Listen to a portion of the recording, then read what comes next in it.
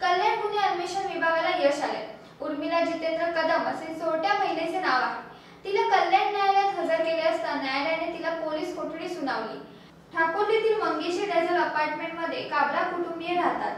गोपाल काबरा यांच्या पत्नीचे दागिने बेडरूम मधील लाकडी कपाटात लॉकरमध्ये ठेवण्यात आले होते. या दागिन्यांकडे काबरा कुटुंबियांनी दोन महिने लक्ष दिले नव्हते. मात्र दोन जुलैला दागिने पाहण्यासाठी लॉकर उघडला असता यावेळी त्यांना धक्काच बसला.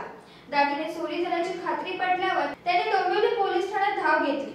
चोरीला गेलेले एक लाख रुपयांचे दागिने चोरी केल्याचा गुन्हा त्यांनी दाखल केला. यानंतर कल्याण गुन्हे अन्वेषण विभागाने या मोलकर्णीला अटक केली. हा व्हिडिओ तुम्हाला आवडला असेल तर असे आणखी व्हिडिओ पाहण्यासाठी आधार न्यूजचे यूट्यूब चॅनल सबस्क्राईब करा.